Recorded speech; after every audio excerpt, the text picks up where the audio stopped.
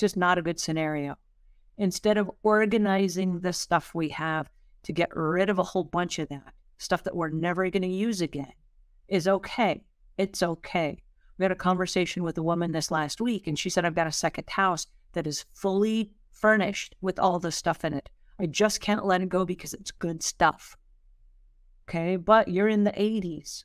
So we have to start having different conversations about which of your children do you want this to go to? Can we start labeling those items right now?